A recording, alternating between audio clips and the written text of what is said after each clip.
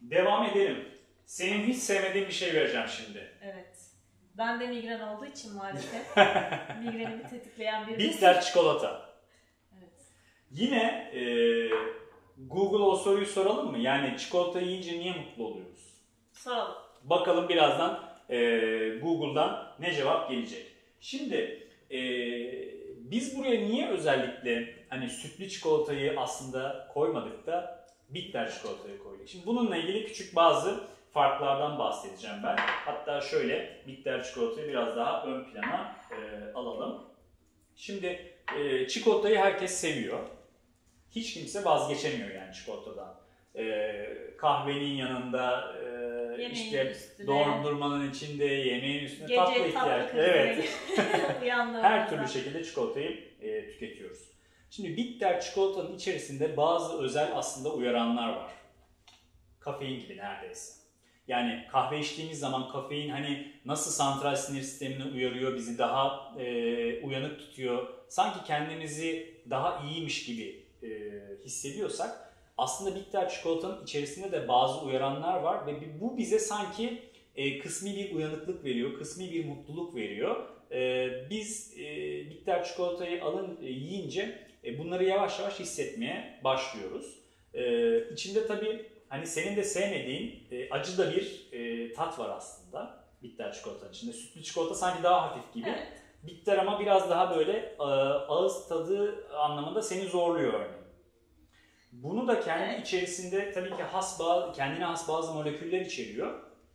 E, bunlar seni zorluyor.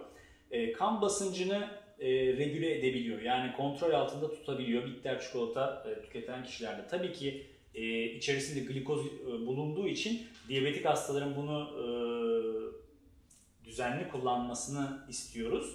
Ama e, uygun dozda günlük belli miktarlarda tüketildiği zaman damar sağlığı açısından, beyin sağlığı açısından e, avantajları var.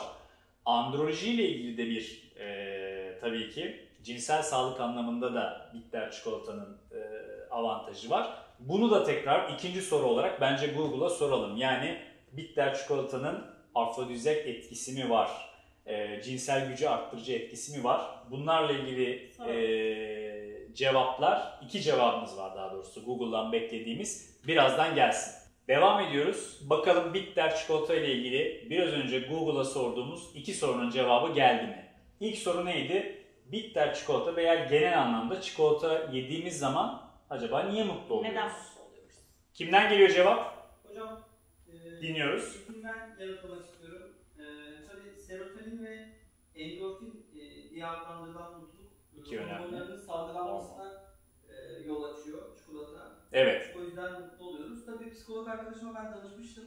Bu hani ne kadar sürer? Eğer depresifsek sürekli çikolata yesek olur mu diye. Bu sefer de kilo alacağız değil mi? Yani öyle bir şey de mümkün değil. Bir 20 şey yok. dakika, 20 ya da 30 dakika sürer dedi. Sen de hani depresifsen bir psikoloğa Böyle Yani kısa etkili aslında. ekleme yapmak istedim. Şey diyebilir Kısa- miyiz? kısa Peki kısa etkili antidepresan diyebilir miyiz e, Diyebiliriz. çikolata için? Evet diyebiliriz. Şimdi serotonin ve endorfin hep böyle e, bahsedilen, konuşulan aslında e, isimleri de aslında mutluluk veriyor böyle insana. E, iki önemli molekül gerçekten bize mutluluk veriyor herhalde. E, çikolatanın demek ki kısa süreli bir antidepresan da olsa var. e, etkisi var. İkinci soru neydi? Benimle alakalıydı. E, Çikolatanın. çikolatanın afrodizyak etkisi mi var? Cinsel sağlığı iyileştiriyor mu? Libidoyu mu arttırıcı etkisi var? Bakalım Google'dan cevaplar ne geldi? Kim cevap veriyor? Deniz Ben cevap veriyor. Dinliyoruz. Şimdi e, az önce Erkan'ın söylediğiyle alakalı en temel faydası serotoninin artırması. Evet. E, bitter çikolata serotonin hormonunun sa- salınımını tetiklediği zaman ister istemez insan vücudunda rahatlama ve kan damarlarında genişleme oluyor. İyileştirici etkisi var. Aynen öyle. Bu noktada da e, bizim alanımıza giren bir değişim söz konusu. Sertleşme problemiyle alakalı Evet. bir durum var. Hemen bölüyorum. Yani Kanlanmayı e, kanlanmayı ne kadar arttırırsak aslında e, erkekte sertleşme ile ilgili fonksiyonlar o kadar iyi bir şekilde düzeliyor. Yani bu organın içerisine daha fazla kan sokmamız lazım ve orada kanı hapsetmemiz gerekiyor. Devam edebilirsin Deniz'ciğim. Bunun sebebi de hani bitter çikolatanın nasıl sertleşme problemi iyi geliyor dersek Evet. burada biraz da kafeine değinmek gerekiyor. Evet. Çünkü bitter çikolatanın içerisinde kan akışını e, iyileştiren kafein bulunuyor. Evet. Şimdi e, bunu bana hastalarım da soruyorlar. E, çikolata yediğimiz zaman, kahve içtiğimiz zaman biz ni- niye daha iyi sertleşiyoruz aslında diye.